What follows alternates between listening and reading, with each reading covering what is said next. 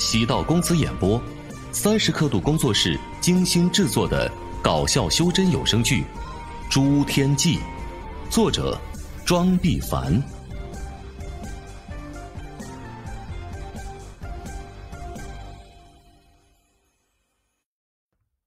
第五百零五集。林飞看到浓黑与纯白之间，一道巨大的漩涡流转，从墓穴中掘来的生机。如长河贯日般流淌下来，没入眼前的这片天地。小心的越过那道漩涡，林飞与李关羽一起落到了地面。入目所见，浓绿淡翠，姹紫嫣红，勃勃生机无限。林飞长长的吸了一口气，充沛精纯的灵气席卷而来，极快的填充了他干涸的真元，比龙骨界的灵气。都要精纯数倍，浓郁到几乎要凝聚成水汽。天上地下两片世界，直到体内的真元再次填满，林飞才再次抬头打量起他们所在的这片天地。宫殿矗立在天地之间，巍峨高大，直指苍穹的气势显露无遗。也直到这个时候，林飞才发现，与其说这是一座宫殿，不如说。这是一座陵墓，以这片陵墓为中心，葱翠的森林朝四下铺伸开去，青草遍地，百花齐绽，清香扑鼻，鸟语悦耳，清澈见底的溪水潺潺流动，薄雾一般的灵气飘在空中，而且越来越浓。这片天地根本不似人间所有，近乎仙境。林飞与李关羽震惊当场，他们原以为自己落下之后会遇到修罗地狱一般的景象，甚至已经做好了战斗的准备，却怎么也没想到，竟然会是这样。林飞抬头看去，那道白色的漩涡隐在天幕之上，若隐若现，而如长河一般汹涌的生机，风了一样落下，滋润这片天地的每一寸。整片世界变得越发鲜活多彩。他瞬间明白过来，四绝之地铺身在峡谷之下，并非只是为了断绝外人进入此处，更因为要将墓穴外的一切生机吸收殆尽，反哺这片天地。林飞回想自己进入这片墓穴之后的所见所闻，一个更加可怕的想法在心中升起：一旦外面的生机断绝，那这片天地鲜活气息也将达到一个顶点。这样的大手笔，只可能是青龙王亲旨所为。所以，是不是就说明这片墓穴覆灭之际，便是青龙王亲旨复生之时？若真是这样，数以万计的生灵都将成为青旨复生的牺牲品。那些闯入墓穴，一心以为自己寻到宝贝的修士们。可能到死都不会知道，从他们踏入这片墓穴的时候，就注定了死亡。林师弟，李关于眉头紧皱，一脸的凝重。他转过身，刚要对林飞说什么，面色一变，突然挥手，黑白两色的光芒如长鞭般急射而出，擦着林飞的耳朵而去。光芒锋利惊人。带着破空的尖啸之声与浓浓的杀气，林飞双目一凛，那一瞬间，他甚至以为李关羽要对自己出手了，但随即就意识到了不对。等黑白两色华光掠过自己身边的时候，便骤然转身，雷玉剑气疏忽而出，一声闷雷炸响，紫色的雷霆骤然间从空落下。伴随着雷霆霹雳的声音，在林飞身后不足十丈处，一片惨烈的哀嚎。电光之中，剑已铿然，将十数头看不清原本模样的青色怪物笼罩，然后猛然一脚，青雾散开，那些怪物便已经消失不见。但是，当这十数头怪物被剑已消灭的瞬间，在他们的身后，突然之间尘烟四起。厉吼连连，大地都震颤了起来，仿佛有万马千军冲杀而至。那是一片望不到尽头的妖物。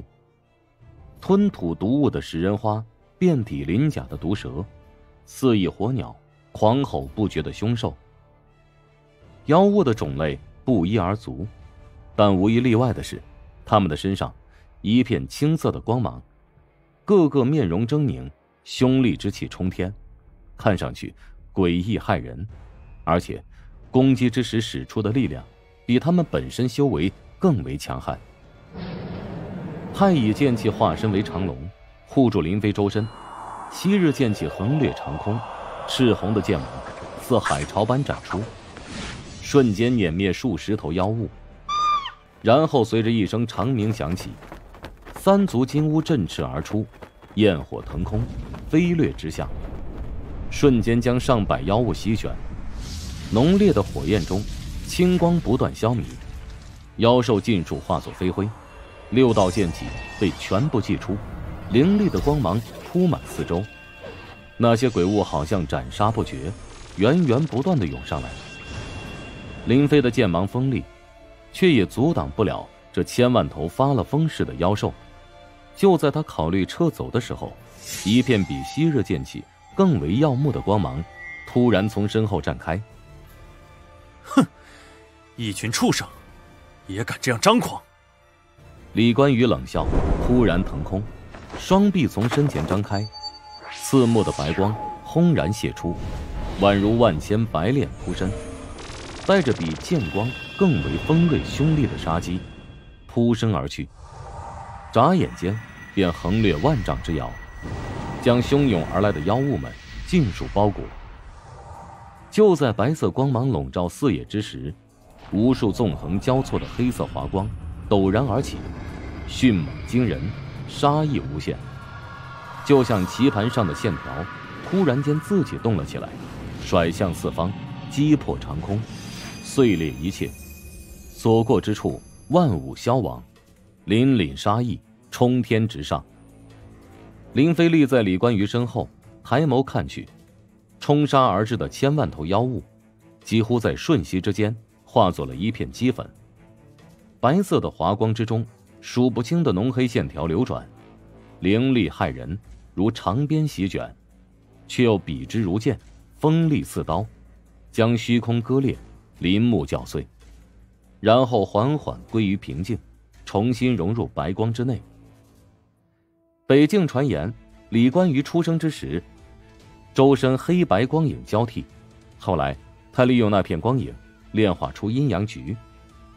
若非亲眼所见，林飞也不会相信，这位李师兄根本没有炼化那片光影，而是将出生之时的意象纳入了金丹之内。化作了一缕道意。这样一来，阴阳光影随心，无可束缚。如此天才的作为，放眼北境，也甚少有人能够做到。林飞召回六道剑气，护住自己与李关羽的同时，心中也满是感叹：若非四绝之地被破，墓穴中的一切都将被无底深渊吞噬，他与李关羽之间必有一战。而李关羽战力惊人，又有这样的绝杀手段，那九道青龙盾到底能不能守得住，还真不好说。万千妖物被瞬息斩杀，凌厉的杀意还弥漫空中。以林飞与李关羽为中心的万丈地方，皆是一片狼藉，但更远处却是青山绿水无忧，鸟语花香阵阵，根本不受干扰。看起来相当诡异。妖物被清除之后，林飞与李关羽不仅没有放松，反而愈发警惕。四面八方涌来无数凶厉之气，比那些妖物更为强悍惊人。没过多久，青光如潮水一般覆盖了过来，速度极快，几乎在眨眼间便来到了眼前。这一次，不再是妖物。而是近千名修士，他们全身披覆青色的光芒，无比刺目，看起来极为诡异，仿佛披着一层青色的盔甲。他们面色狰狞，大睁的双目中一片凛凛杀意，还未曾近身，那股带着浓郁血腥味的凶悍之气便已然扑了过来。裴长老，林飞周身剑芒环绕，他看着冲过来的一个人，先是一愣，然后倏地皱起了眉头。那人赫然便是金海阁的长老裴南，而在他的身边，是万月宗与九华派的几个长老，他们遍体青光，已经感受不到一丝活着的气息，张开的嘴巴中发出嘶嘶声响。更令林飞心惊的是。这些人所展现出来的力量，已经直逼金丹六转的宗师。